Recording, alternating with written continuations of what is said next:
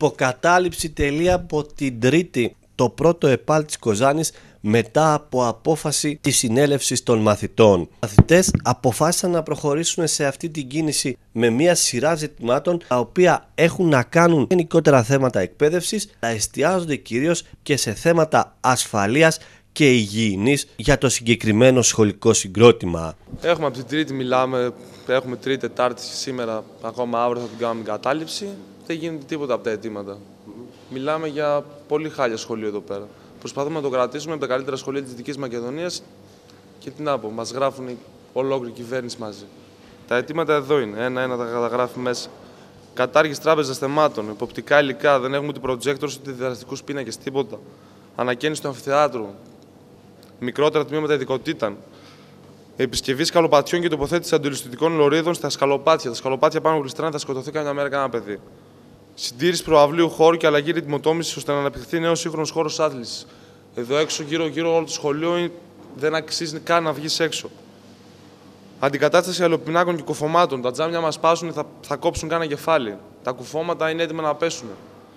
Επισκευή δαπέδων εθισών διδασκαλίας. Αυτές οι τάξεις μέσα καρκίνοντα με δημιουργεί στο τέλος. Επισκευή κυκλειδωμάτων. Αντικατάσταση ή επισκευή δικτύου αποχέτευσης. Εδώ πέρα, παιδιά, άμα έρθετε 11-12 η ώρα, καταβρωμάει όλο το σχολείο. Όλο το σχολείο. Τους φουγκάζουμε να χρησιμοποιούνται μικροβιοκτώνα. Δεν έχουμε τίποτα.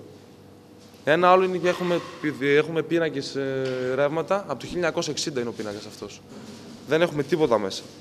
Το πρώτο ΕΠΑΛ εργάζεται σε κτίριο το οποίο είναι χτισμένο από τη δεκαετία του 60 και όπως κατέγραψε και η κάμερα του Top Channel ελοχεύει αρκετούς κινδύνους τόσο για τους μαθητές όσο και για τους καθηγητές οι οποίοι βρίσκονται καθημερινώ σε αυτό. Βασίσαμε την κατάληψη, γιατί ζούμε σε περιβάλλον κατάληψη. Δεν γίνεται αυτό το πράγμα. Θέλουμε να αφιπνίσουμε το Υπουργείο Παιδείας και την κυβέρνηση και να τους πούμε πως η αναβάθμιση των χώρων της παιδείας είναι η υποχρέωσή τους. Καθώς και η δική μας υποχρέωση είναι η προέσπιση του χώρου που βιώνουμε και η αναβάθμιση της παιδείας μας. Το πρώτο πάλι είναι από το μεγαλύτερο συγκροτήματα της δικής της Μακεδονίας. Είναι ο χώρος που ζούμε, ο δικός μας χώρος. Η κατάληψη είναι ο μόνος τρόπος για να κάνουμε τις υποθέσεις να μας προσέξουν. Δεν έχουμε τίποτα άλλο, παιδιά. Το Top Channel επικοινώνησε και με τον διευθυντή του σχολείου Μανώλη Καρακάση, ο οποίος σημείωσε πως οι μαθητές δεν έχουν προβεί σε ζημιές και απλώς προσπαθούν να εισακουστούν για τα δίκαια αιτήματά τους. Ε, τα παιδιά έχουν κάποια ε, η κατάληψή τους ε, συνοδεύεται από και κάποιες εκδηλώσεις που κάνουν τα παιδιά, δεν κάνουν ζημιές προς το παρόν. Λοιπόν, τα αιτήματά τους είναι σε τρεις τομείς.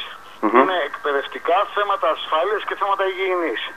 Όπως τονίζουν οι μαθητές, η κατάληψη θα συνεχιστεί και τις επόμενες ημέρες ενώ σκέφτονται και άλλες μορφές κινητοποιήσεων με τα αιτήματα να έχουν προωθεί και στους τοπικούς αρμόδιους φορείς που πρέπει να παρέμβουν προκειμένου να διορθωθεί η άθλια πραγματικά κατάσταση που επικρατεί στο πρώτο επάλ της Κοζάνης. Κάνουν, τρέχουν και αυτοί όσο μπορούν, αλλά και ο διευθυντής το ίδιο. Αλλά μέχρι ένα σημείο, κατά παραπάνω δεν μπορούν να κάνουν. Τώρα δευτεροβάθμια εκπαίδευση. Mm-hmm. Μας έχουν κάνει μέσα στα τμήματα μηχανολογίας. Είμαστε δύο τμήματα από 25 άτομα και δουλεύουμε με συγκεκριμένα εμείς τους μηχανολόγους. Δουλεύουμε με τέσσερις τόρνους. 25 άτομα. Δεν πρόκειται να μάθουμε τίποτα.